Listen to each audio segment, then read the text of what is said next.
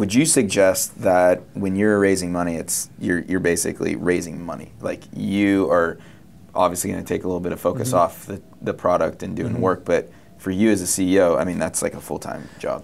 It is. I mean, and it's hard. You drop some balls. One of the things that I that I pretty much my philosophy, and you know, use the word funding and collecting money and things like that.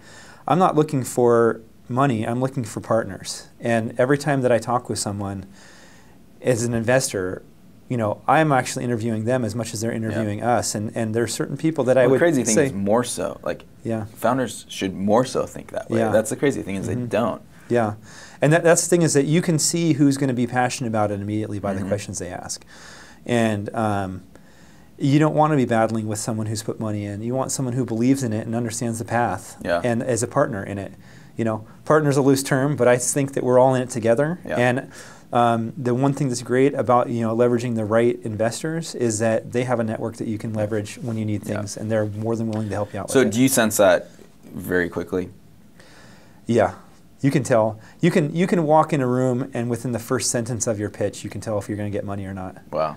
I and mean, that's just like the energy that they're giving off, kind of thing. Like Yeah, you know, leaning forward or leaning, there's, there's an exception to every rule, but um, it, it's a sale. One of the things that you learn as a salesman, you learn how to read, you know, Yeah. the person the person you're selling to, um, and you you manipulate your pitch based off of the energy and their feedback and their mannerisms and all that stuff. So, it's it all applies. It's all the same thing, and. Um, they do the same thing. They engage with you. If you have the passion and the energy, Yeah.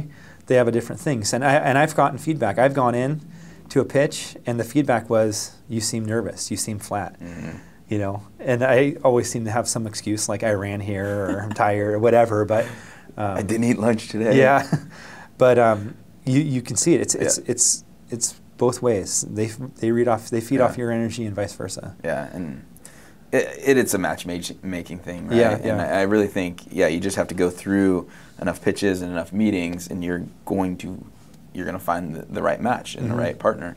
Right. But um, yeah, I think I think most founders, uh, I think they get nervous. Mhm. I think they put they hold they put too much on one meeting, Mhm. right? And that's not the, it's it's about successive meetings Right. to the point where like okay this this, this makes sense, Right. you know, and this works on both sides. Mhm. Um, so, and I also think they just don't.